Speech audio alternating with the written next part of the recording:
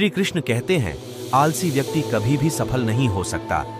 जिसे अपने जीवन में ऐसो आराम प्यारा है, उसे मेहनत करना अच्छा नहीं लगता। भला वह व्यक्ति कैसे सफल हो सकता है? इसीलिए अगर आपको कोई काम करना चाहते हैं तो अभी से आलस्य त्याग दीजिए।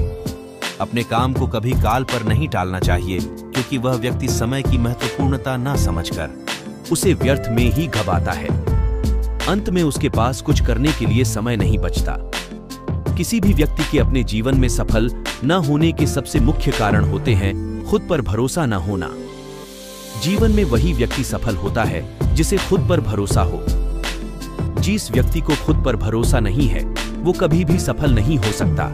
एक बार दानवीर कर्ण ने भगवान श्री कृष्ण से अपनी व्यथा सुनाई और कहा कि, हे प्रभु, जब मैं पैदा हुआ, तब मेरी माँ ने मुझे त्याग दिया।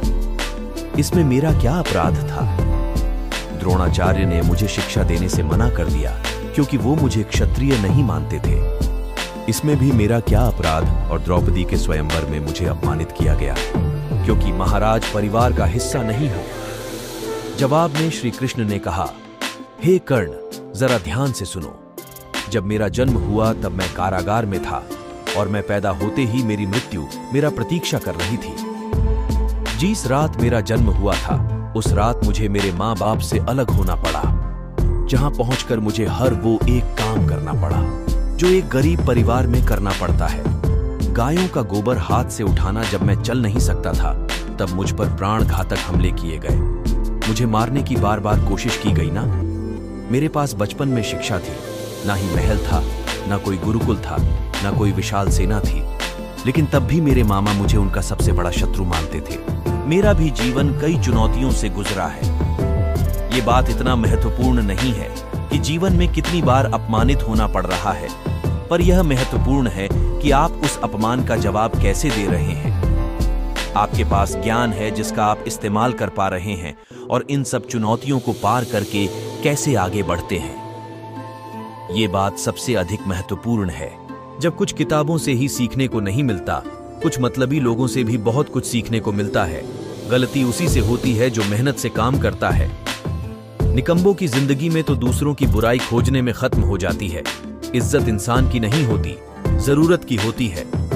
ज़रूरत खत्म तो इज़्ज़त खत्म। बोलना सीखे, वरना ज़िंदगी भर सुनना पड़ेगा। आप भी उतना ही उड़े जहाँ से ज़मीन साफ़ दिखाई देती है। सिर्फ़ वो लोग आपकी परवाह करते हैं जो आपको तब भी सुन सकते हैं जब आप चुप होते हैं। चिंता उतनी करिए, जीतने में काम हो जाए, उतना नहीं कि ज़िंदगी तमाम हो जाए। आप अपने शब्दों को चाहे जितनी भी समझदारी से बोलिए, लेकिन सुनने वाला अपनी योग्यता और अपने मन के विचारों के अनुसार उसका मतलब निकालता है। यकीन करो, जो तुम्हें भूल चुका है, वो भी याद करेगा। बस उसके मतलब के दिन आने दो। कहानी ज़िंदगी की यही है कि इसमें मनचाहा किरदार नहीं मिलता। ज़िंदगी तो अपने दम पर ही जी जाती है। दूसरों के कंधों पर तो सिर्फ़ जनाजे उठाए जाते हैं। आपकी मुस्कान आपके चेहरे पर भगवान के हस्ताक्षर है। उसे अपने आंसुओं से ढुलने या क्रोध से मिटने ना दे। कोई भी व्यक्ति हमारा मित्र या शत्रु बनकर संसार में नहीं आता। हमारा व्यवहार और शब्द ही लोगों को मित्र और शत्रु बनाता है। जो व्यक्ति हर वक्त दुख का रोना रोता है। उसके द्वार पर खड़ा सुख बाहर से ही लौट जाता है। जिसके पास उम्मीद और आस है, वो ज़िंदगी के हर इम्तिहान में पास है। हर कोई अपना नहीं होता और यही सच है। कितने अजीब हैं ये जमाने के लोग। छोड़कर जज बातों से खेलते हैं, महान दिमाग विचारों की चर्चा करता है, औसत दिमाग घटनाओं की चर्चा करता है और छोटा दिमाग लोगों की चर्चा करते हैं। अहंकार न पालिए वक्त के समंदर में कई सिकंदर डूब गए। इन पाँच जगहों पर हमेशा चुप रहिए। पहला, जहाँ आपके शब्दों की कोई कीमत नहीं, दूसरा, जहाँ बोलने के बाद आपको पछतावा ना करना पड़े।